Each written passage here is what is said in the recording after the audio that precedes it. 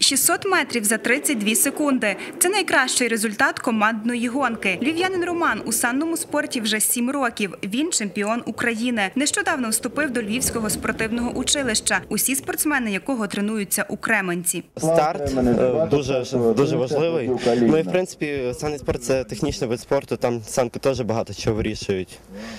Е, Так то старт і проходження траси. Поки що чемпіон України це для мене найвище досягнення. Щороку у міжнародних змаганнях Кубок Бони беруть участь більше 10 команд з різних країн світу. Цього року іноземних представників менше. Іван Папокчієв, тренер булгарської команди. На міжнародні змагання до України привіз лише двох учасників. У Болгарії подібної траси немає. Відтак спортсмени тренуються на Кременеччині. А, Сборная команда, а, они были вторые, второе место.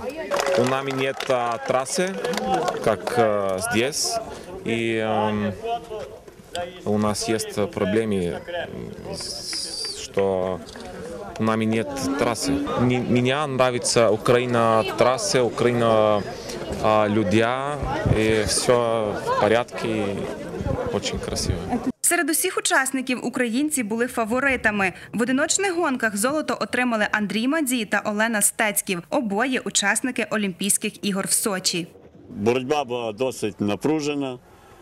В основному домінували українські спортсмени, спортсмени Львівської Тернопільської області, тому що країни, які нас прибули, Республіка Болгарія, Молдова і Польща, там спортсмени молоді, і в них немає такої спортивної споруди, тому вони тільки набувають досвіду. А вся боротьба розгорнулася між спортсменами Львівської і Тернопільської області. Я загалом задоволена. Перше місце.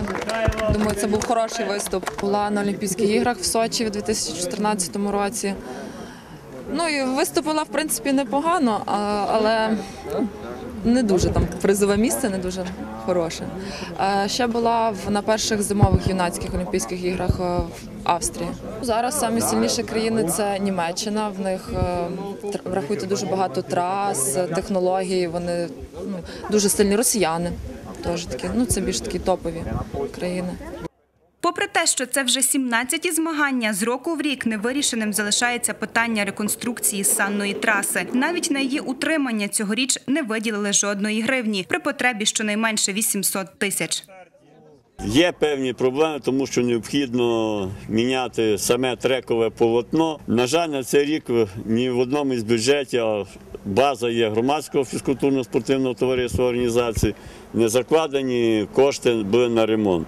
В міністерстві санний спорт називають непріоритетним. Відтак можливості виділення коштів поки що немає. Невирішеним залишається питання права власності на земельну ділянку та спортивний об'єкт. Це не дозволяє залучити кошти на реконструкцію від міжнародної федерації. Для повного осучаснення траси із автоматизованою заморозкою потрібно 10 мільйонів євро. Звичайна реконструкція обійдеться у 10 мільйонів гривень.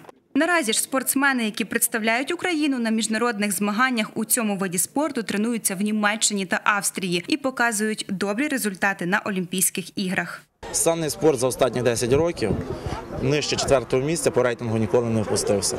Так що, якщо взяти серед 13, це високий, мало з того, що і не дешевий від спорту. Не маю, маючи е, хорошої сучасної бази.